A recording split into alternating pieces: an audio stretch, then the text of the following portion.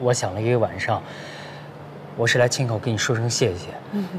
你爸的钱，我不能要。从今天开始，这间办公室你的了。第二，两年的主持人合约，所有待遇跟方欣然不相上下。第三，你想要做的一口不同声，马上上马，只要你愿意。转了这一大圈，看来看去，只有这个展家包能让咱爷仨凑在一块你说个秘密消息啊，那马小薇已经签咱们公司了，那可是咱小麦网以后的明日之星。小麦网要搞一个直播平台，马小薇是签约艺人，两周前签的合同。你想想啊，你这么一个外人，怎么跟这么一个内人竞争啊？展昭他们就是陪练的，这一切的一切都是为了你们内定的冠军马小薇。这就是游戏规则。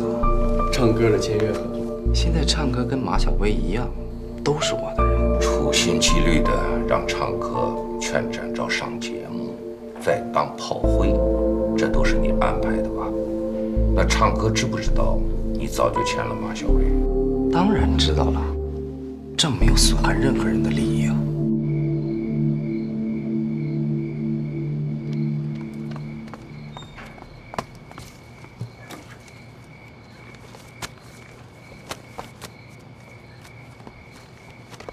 你把东西拿回去吧。被你发现了。那个，这个呢是马卡龙，哎，这个是我以后别往这儿挂篮子放东西。干嘛呀，詹 Sir？我能问问你，为什么不理我吗？你不是签约新节目了吗？好好干。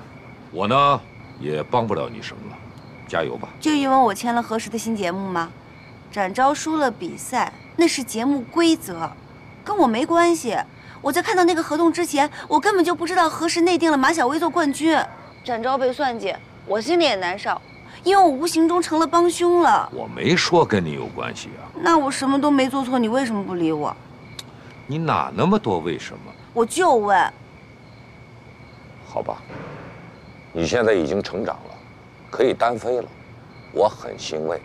再说了，我们俩没必要绑在一起。我没有要单飞，我需要你，我还让让你给我看看这个新节目呢。我还没说完呢。你现在成长了，可以单飞了，我很欣慰，但是我很累。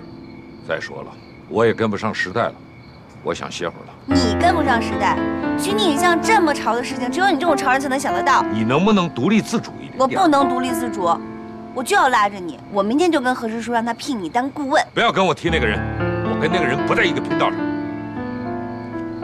好吧，你心情不好，那我先不跟你聊这个。嗯，等你心情好了，我再找你。这么美的马卡龙，吃吧。拿过去，自个儿吃吧。没有啦。还有，以后没有我的允许，请你不要到这个院里来。你是个大姑娘，不要那么随便。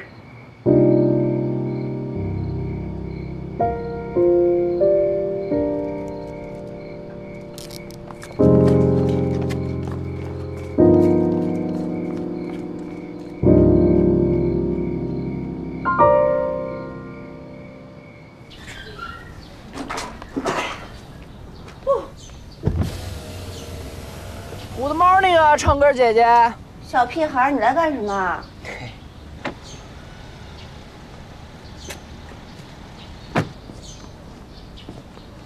干嘛呀？这是？上车吧，唱歌姐姐，早餐都给你准备好了。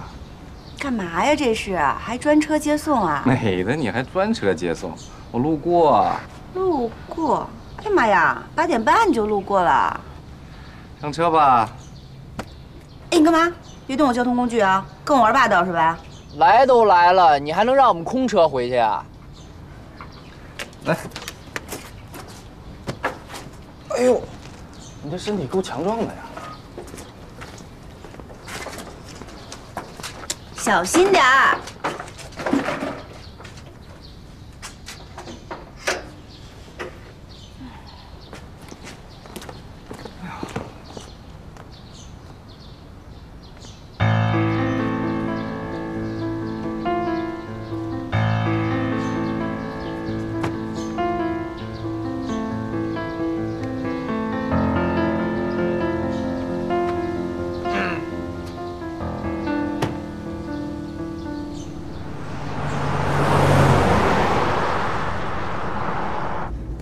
最喜欢的，加热过了。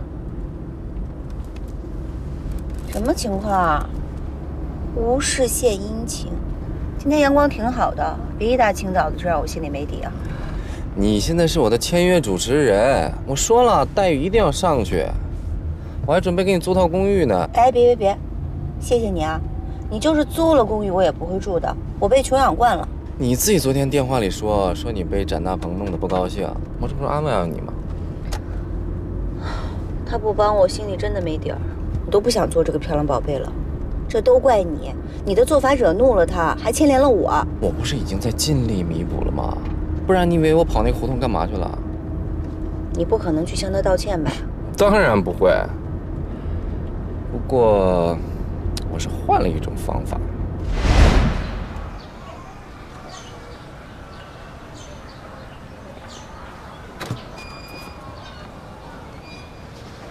哎，来这儿干什么？你以为我愿意来啊？我这辈子都不想看见你。好啊，赶紧起开啊！不知道好狗不乱叫，好狗不挡道啊！没空跟你瞎扯，我们老板来接人的。早啊，展先生，这么巧啊？一大早的把车怼在我们家门口，这叫巧啊？哪儿巧啊？哦哦，这是展府啊，不让你去唱歌家门口吗？怎么搞的你？啊？不是您说唱歌住他们家？胡说！我怎么可能说这话呢？唱歌一个大姑娘住展先生家，合适吗？啊，不好意思啊，展先生，这司机不太会说话。找唱歌啊？里边那屋。好，谢谢展先生，打扰您了啊。哦，对了，唱歌跟我说你很看好他，说他现在已经成长了，不用你指导已经可以独立自主，甚至可以挑大梁了。谢谢您对他的鼓励，我去接唱歌了。他还放言说了，非常不看好我们的节目。我说，你都不知道我们做什么，凭什么不看好我们呀？你知道他说什么吗？他说现在方欣然不在，就凭你来挑大梁的话，做什么都没戏。观众的新鲜度一过，到最后认的还是方欣然这块金字招牌。他真这么说？不信你可以自己去问他呀。原话不是这样，但是大概意思就是这些。要不然他为什么不愿意答应帮你呢？成哥，我跟你现在面对的是同样的困境，拴在一根绳子上。如果说现在离开了方欣然，我和你做不出一档好节目的话，你想想他们会怎么来笑话我们？这个世界就是这么的残酷。你真的只愿意昙花一现吗？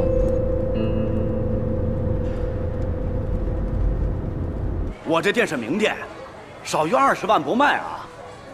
我这生意你看看，你看看我这生意，你买这个，你是捡着了。哎，来干一个！好消息，好消息，各位！什么好消息啊？我把展爷之前那个小店的店主给搞定了。啊？那不是开着火烧店的吗？你别看那个火烧店挺能瞎咋呼，其实经营不善，干不下去，想脱手，正不知道该怎么办。我去了，咔咔一谈，答应低价转让给我们，还能赊账。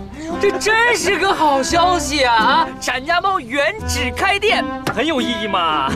可是他那个店面造的很厉害啊，必须得重新装修吧？对啊，装修啊，装修的钱从哪儿来呀？你说我那么多设计，那么多想法，这不能埋没了吧？自己动手，丰衣足食，有没有信心？有。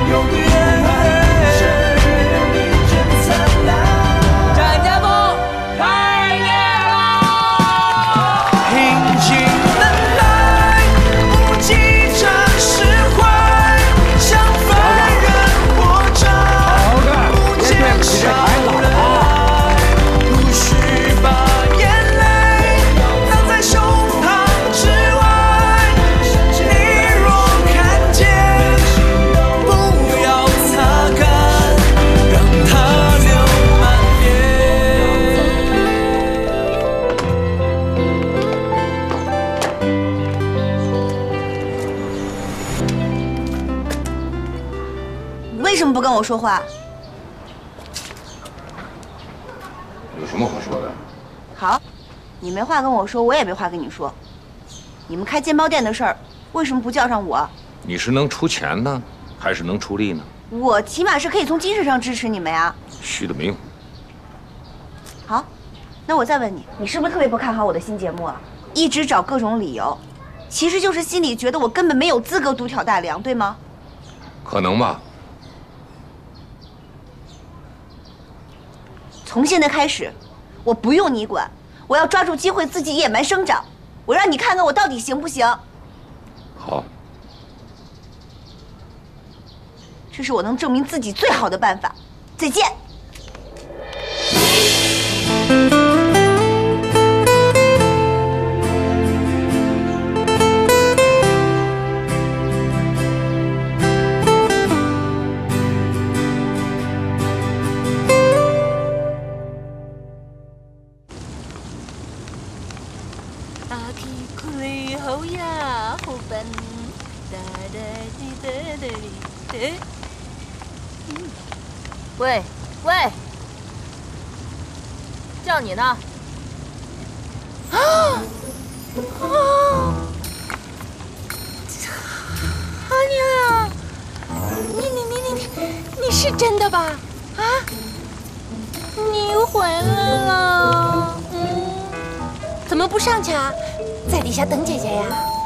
丢了，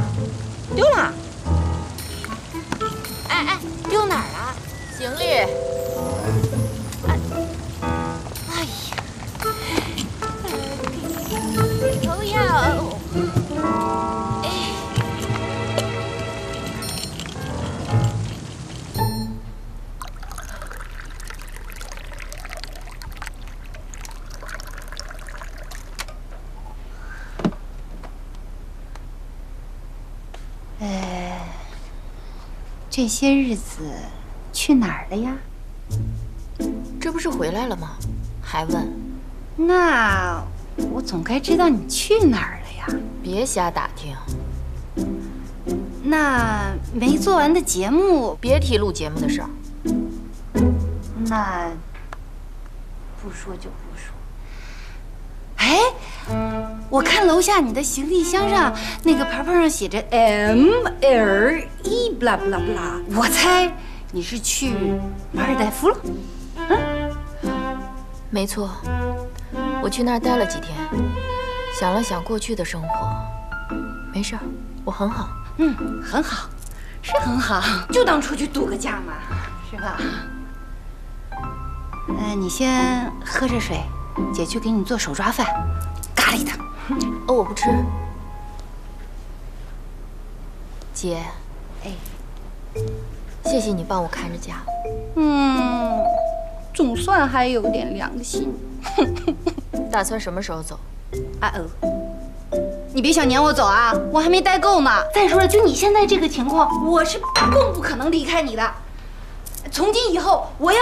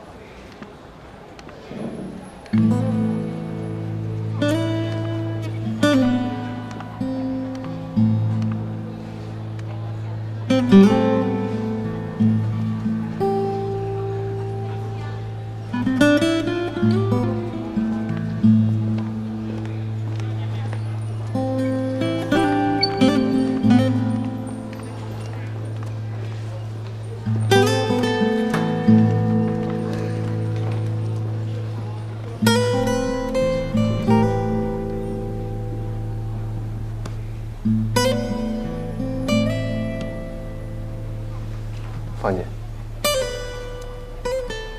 你回来了。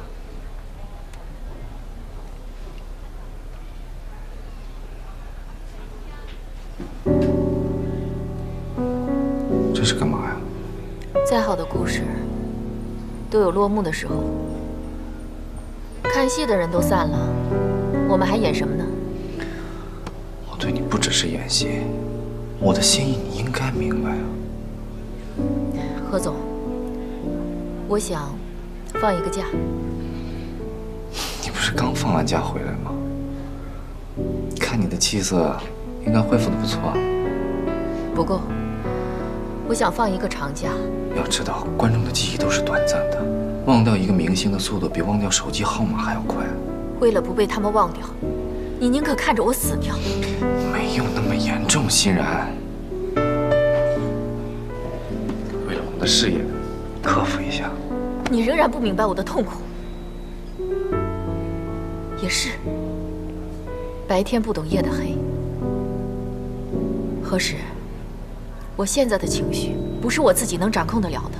我知道，你讨厌那些偷拍的人，没问题，我给你多派两个保镖，让路飞他们二十四小时保护你，以后再也不受这种骚扰，好不好？保镖？你知道什么叫治标不治本吗？让我焦虑的，不只是那几个偷拍镜头，而是这份工作的本身。我明白你压力大，承担了很多，但是无论如何，我们不能放弃这个节目。台里和投资人现在真的对你有点看法，但这都是暂时的。只要你能够控制好这些小情绪，尽早回归，他们一定会再次拥抱你的。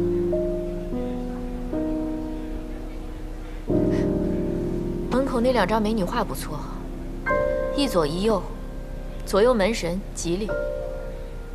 去拥抱他们吧。你别看那画，你看这幅画，欣然，欣然。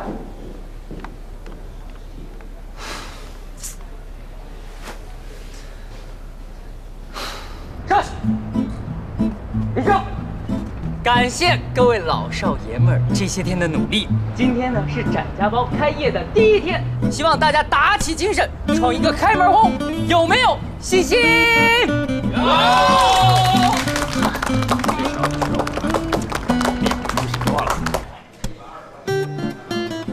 展爷，形势喜人啊！哎，给我踏实啊！后厨谁也不许掉链子。嗯，爸好了吗？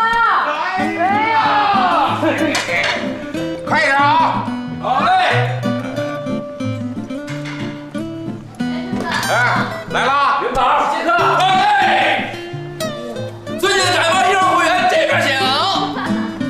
哎，这是我们展总为您留的座位，请坐。好尊贵的感觉啊！我本来以为你们开业没人来呢，想不到这么多人。怎么可能？哎呦，幸亏给我留位子了，要不然我都没地儿坐。展爷不是在节目上露了一手吗？所以好多人都是冲他手艺来的。哈哈，小展老板呢？里边呢？来，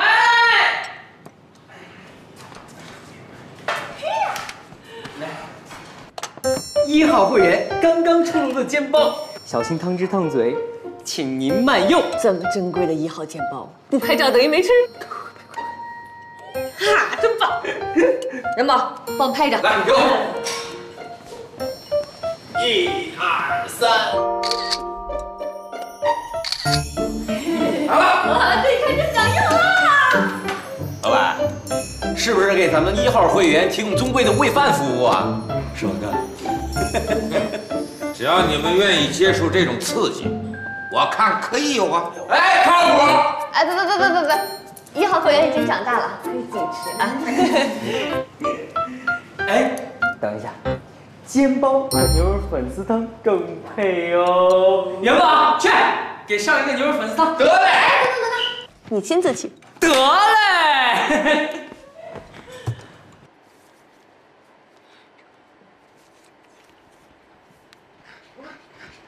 弟弟啊，弟弟，这孩子怎么这么皮呢？谁都找过来，过来。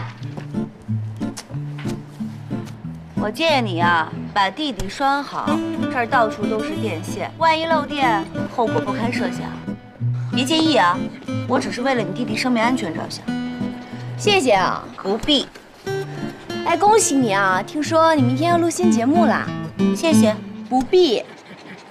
哎，弟弟，你说这都什么年代了，某些人录那节目那么老土，有人看吗？有没有人看播了就知道。其实啊，你节目里所谓那些漂亮宝贝儿，都是何时未来想做那些女团。你说你忙活了大半天，就是给人做了个大广告而已。那又怎么样？不怎样啊，就是觉得无聊呗，没意思。觉得没意思啊？好啊，我跟何时建议一下，让女团的每一个成员都抱条狗，会不会更有意思啊？你知不知道什么叫东施效颦呢？我更知道丑人多作怪。很好啊，那说明你还算了解你自己。再见，西施小姐。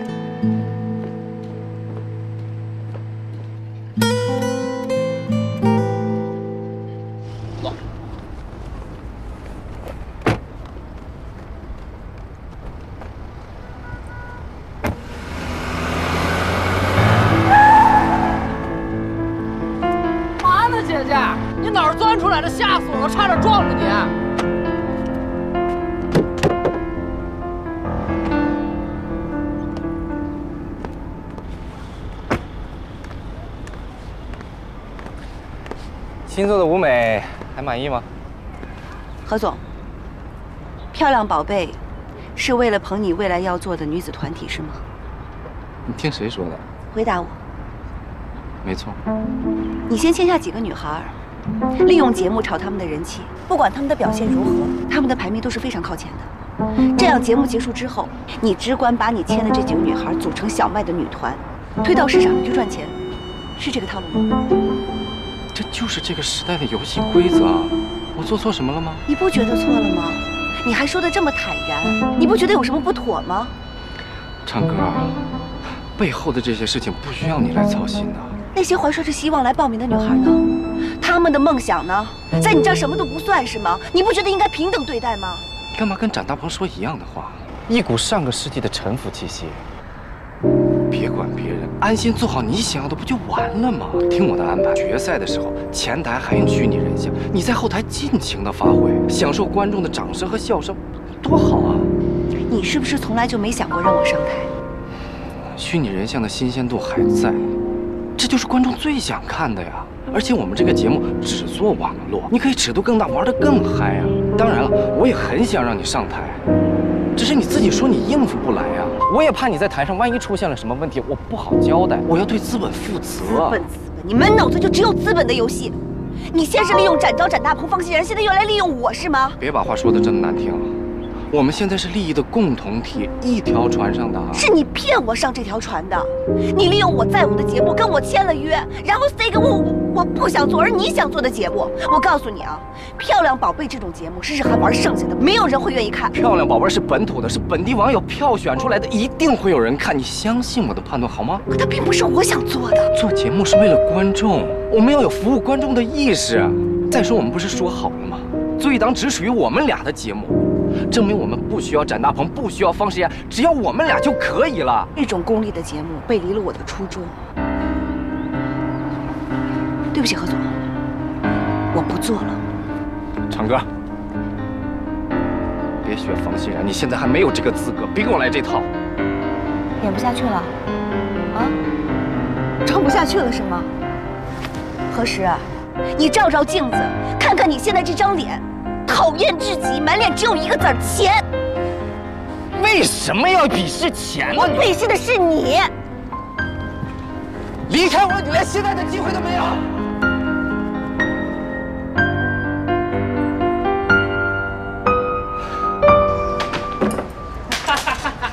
展爷，我考虑了，以后关门的时间不能太早，晚上营业时间还得延长。这样子的话，我们的业绩就能蹭蹭往上涨。呀，你你你就是想把我给累死。谁说我不心疼你的，我的 CTO？这是我的长期规划。哎，规划你就是见钱眼开。嗯，我跟你说，你比资本家还狠。现在就给我扣帽子了！我告诉你，帽子太大，我头太小，戴不上。哥，嗯，很久没见你这样了。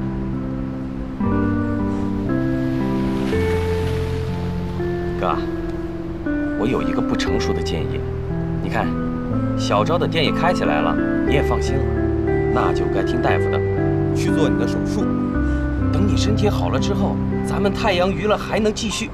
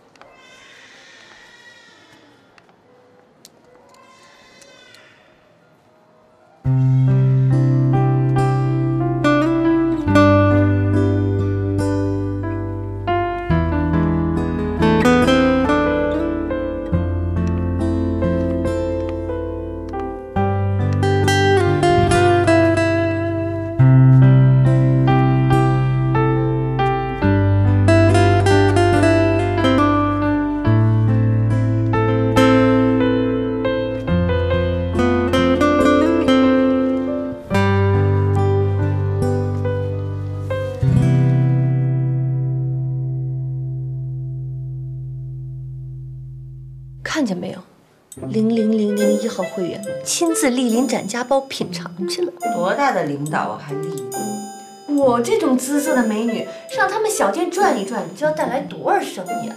哎，我跟你说，展爷那手艺真不是盖的。明天一起去啊？我不去。谁跟我说跟他们老展家亲的都快成一家人了？热乎劲这么快就过去了，爱的暖流断电了。你怎么那么多话呀？我说我不想去，是因为我又不是没有吃过。哎，你说老展家他们仨这爷们儿真挺逗的哈，各有各的奇葩，看着不像一家人，但仔细琢磨吧，又必须是一家人。怪人，全都是怪人。不全是，展爷跟展昭还好，老头儿妇女之友，展昭标准的如风少年啊。这个展大鹏确实有点奇怪，对，就是他，就是很怪，对我爱答不理的。前两天跟我说什么，以后没叫你别老往这小弯跑，一个大姑娘家的，别那么随便。真这么说你吗？要有人这么说，我直接杀了他。所以我才不想去，不要见他。不想见，不想见还买人家的书，见字如面吗？什么见字如面呀？又不是写信，我就是买了。又没看我，我就不惜的看我。行了，不说他们家人了，那个，我跟你说一下，我不在小麦网干了。你不是说马上要有自己的节目了吗？非也在那根本做不了自己的节目，何时就是拿我临时顶替方欣然而已。OK，我支持你。不开心咱就辞职，多棒的一个决定啊！找了下家没有啊？没有，冲动，不成熟，太不理智了。嘿嘿嘿嘿，不过我喜欢，做人就应该这么随性。谁能配得上像你那样随性而活呀？哎呀，宝宝不开心，想去天涯海角没人的地方。可别瞎说呀！天涯海角那是人山人海，脚都没地儿插的风景区呀，人可多了。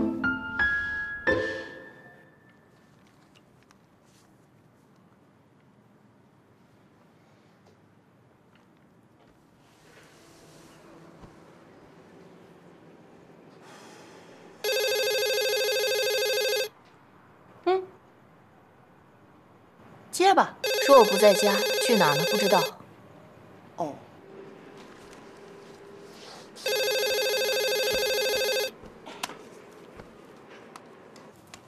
Hello。欣然啊，No no no no，I'm 欣然 sister。欣然还没回来吗？没有。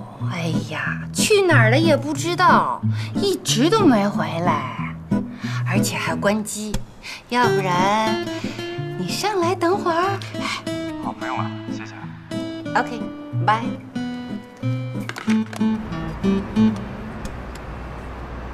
何总，你一晚上没吃东西了，要不我去买点吧？行啊，都躲着我，没你们我还做不成个节目。开玩笑。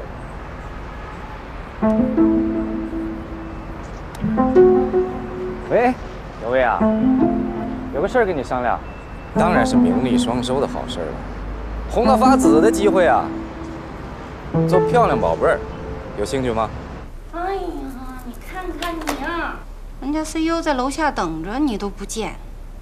还有啊，你让你姐姐这么诚实的一个人，跟着你一起去骗人，你看我都紧张的浑身冒汗了，我的手，手都一直在抖哎。没事儿，谎话说习惯了就好了。你你你你你你，不必惊讶，没错，是展大鹏的书。No no no no，钻戒呢？你的钻戒还给他了。怎么还给他了呢？你不是都已经答应他了吗？你怎么会？你知道吗？你这种行为叫悔婚。这本来就是个游戏，Game over 了。怎么会是游戏呢？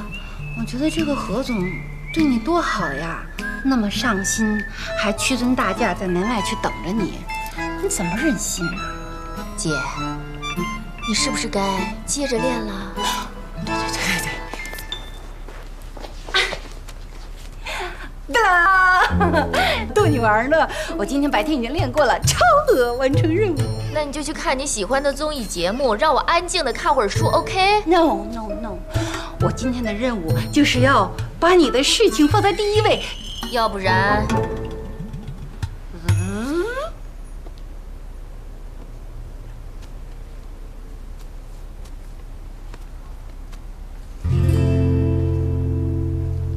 记得，那是太阳娱乐文化刚创办不久的一次采访，欣然不小心崴伤了脚。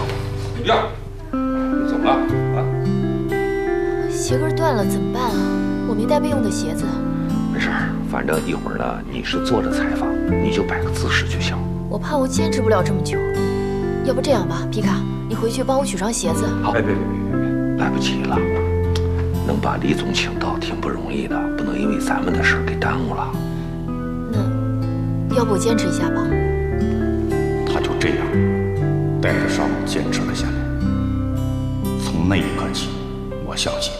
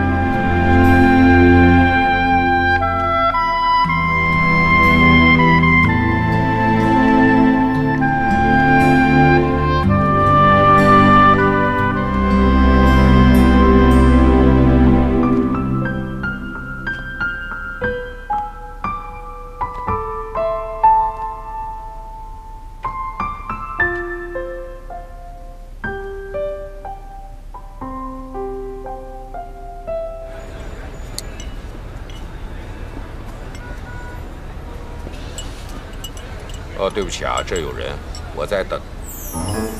除了我，你还在等别人吗？哎呦，我以为这是个谍战片呢，来了个女特工啊！你怎么坐这儿啊？那么多人，这儿多好啊，空气阳光多棒啊！人太多了，危险。换个地方吧。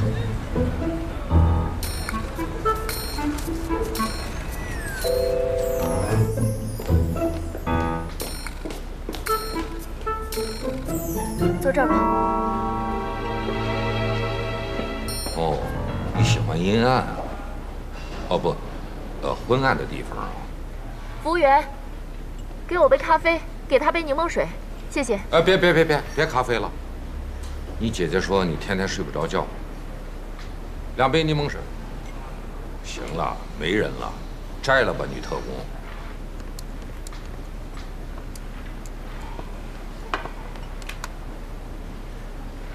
听说前一段时间去了趟马代，感觉怎么样？大鹏，你的书我看了，你的文字带出了我很多的回忆。昨天一晚上，我们过去一起做的那些事情，一点点都浮现出来，历历在目。那画面好像蒙上了一层很好看的滤镜。那段时间那么苦，那么累，每天跟打仗一样的。想想，还那么美。你能这么说，我很高兴。我喜欢你的书。其实我当时写那会儿吧，没想着出版，可真要到出的时候吧，我心里一急。本来我想呢，删掉一些章节，因为毕竟我们俩……谢谢你记录下来了，替我们，这很珍贵。谢谢你的大度。可是你为什么不早点告诉我呢？你真把我当成陌生人了吗，展大鹏？啊？你知道我在说什么？你脑袋里的